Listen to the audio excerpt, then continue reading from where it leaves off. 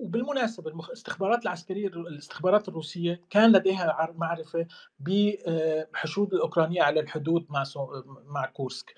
لكن الأركان الروسية اختارت أن تتجاهل هذا الموضوع وترك وتركز أكثر على على الحفاظ على زخم العمليات الموجود في الدنباس لأسباب يعني فيها جانب من المعقولية، الأول شيء إنه حاليا الألوية الخمسه اللي انتقلت منها هي ألوية جدا مهمة بالنسبة للقتال في في في في الدنباس فوجدت هذه فرصة بالنسبة لهم. آه، الأمر الآخر طبعا الألوية أنا أذكرهم هي اللواء 80 و82 مظليين و22 و61 و151 و115 معللات هدول هم الألوية الأوكرانية اللي تم نقلها. هذا هو ركيزة القوة الأوكرانية التي اجتاحت آه، كورسك.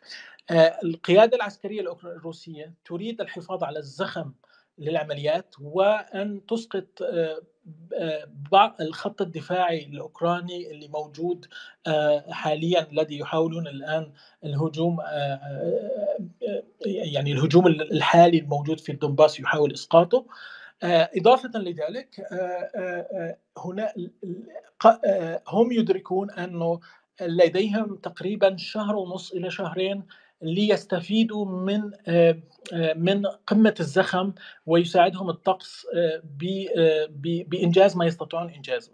بالإضافة إلى ذلك الآن توقيت العمليات جاء في توقيت إعادة تكوين ألوية جديدة فهذا اللي بيفسر إنه الجيش الروسي ليس لديه قوات لم لم يضع في كورس قوات عدد كبير من القوات أو الأفواج المدربة وإنما في بدايه المعارك في العشر أيام الأولى تقريبا استعان آه، بالمجندين الخدمة الإلزامية. وهذا يفسر لماذا وقع كثير من الروس بأعداد كبيرة آه، أسرى لدى القوات الأوكرانية لأنه 20% فقط من الأسرى الذين لدى الأوكران هم من الجنود المتعاقدين بينما 80% هم جنود الخدمة الإلزامية. في روسيا في خدمة إلزامية حوالي تقريبا يمكن سنة بيخدم الشخص آه، يعني في الوحدات العسكرية لكن ما بيكون مقاتل لأنه القانون الروسي يمنع أصلا